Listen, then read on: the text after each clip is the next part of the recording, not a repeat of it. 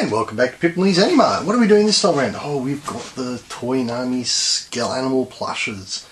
That's right, the dead pets that need love too. Of course, would you really love a dead pet? Mm, there's a lot of bad jokes that can be made there, but we'll leave it. So what we have here is, of course,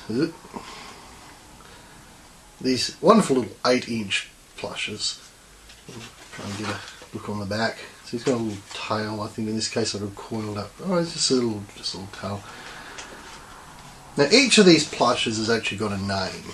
So if you actually sort of have a look here, if you were to gently open that up inside, you would see, of course, and you can't really, but you can sort of see that this one's called Bill, Bill the Pig.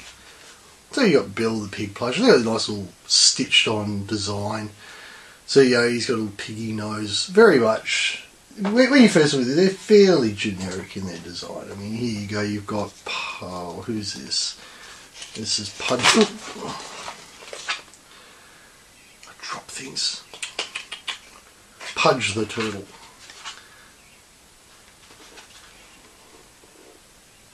And they come on these nice little sort of cardboard mounted displays so very nice. You can sort of see on his back a nice little turtle shell look. They got quite a lot of this range. I, I, one of the ones I've recently sold out of is actually the, the spider. So here's of course the frog. And his name is Chip the frog. I don't know who names these sometimes.